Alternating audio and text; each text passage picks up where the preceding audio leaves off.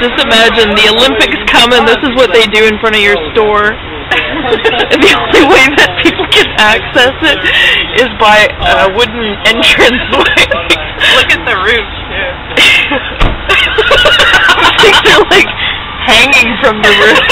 There's a freaking huge like wobble light over there.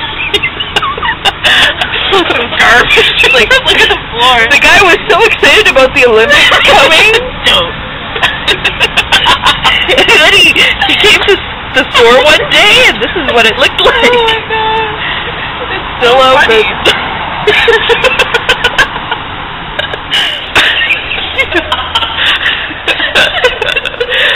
I'm filming. Okay. Oh, Lulu, let's go to the market. Oh, great.